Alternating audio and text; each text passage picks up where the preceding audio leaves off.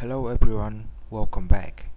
In this video I will show you how you can change the video on the Squeeze page. So in order to show you how to do that I need to load a video template.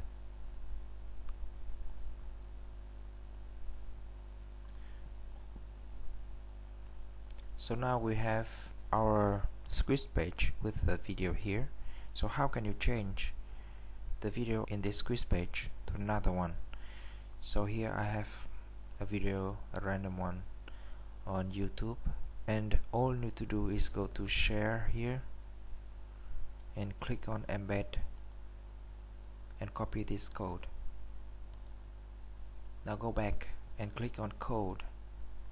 Click on media and paste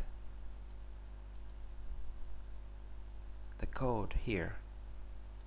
And I click outside.